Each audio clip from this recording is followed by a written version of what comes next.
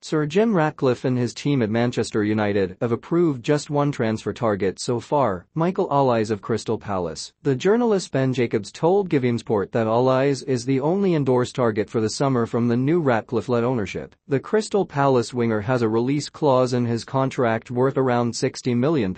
Mirror. He is a talented player who has scored 8 goals and provided 14 assists in the Premier League since the start of last season. He would be an upgrade on Manchester United's current left-footed right winger Antony. Please click the source link in the description for more details. Thank you for watching this video. Please subscribe to my channel for more videos.